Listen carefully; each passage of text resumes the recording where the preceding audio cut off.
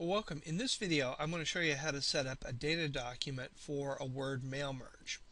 Now a data document is basically the document that contains all of the names and addresses, all the information you want to use in the merge.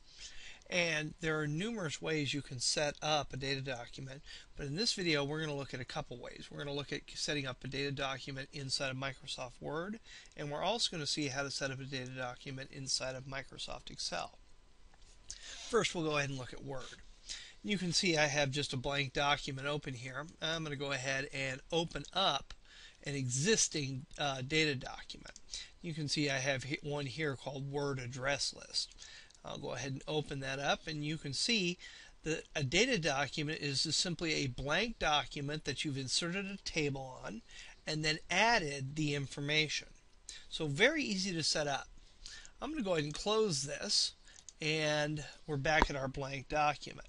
So the first thing I, need to do to set up this data document is to create a table with two rows and the number of columns equal to the number of fields I want to use in the mail merge.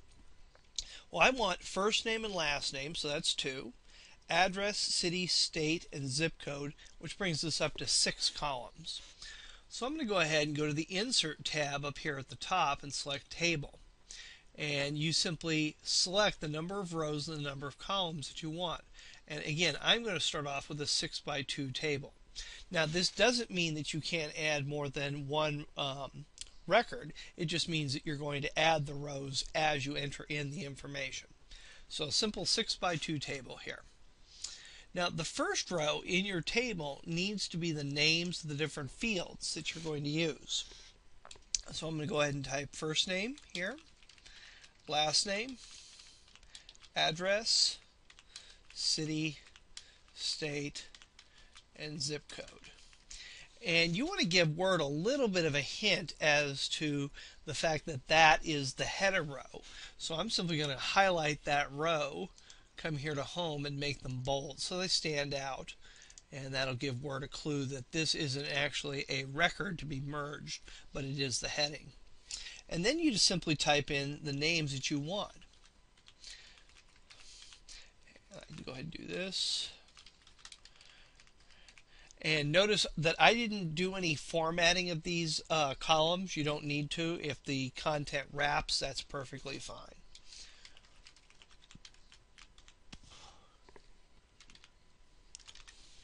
Now, when you in a table, when you get to the end of the table, if you hit the tab key on the keyboard once, you're going to see it inserts a new row for you.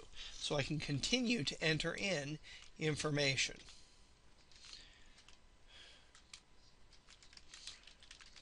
And again, I'm not worried about formatting at all. All I'm doing is typing in the information.